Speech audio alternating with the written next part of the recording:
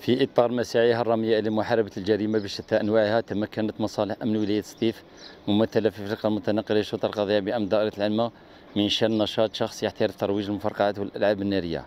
العملية جاءت على إثر استغلال معلومات مفادها قيام شخص ببيع وتخزين كميات هامة من المفرقعات والألعاب النارية. على الفور تم إطلاق أبحاث وتحريات موسعة مكنت من تحديد هوية ومكان النشاط المشتبه فيه.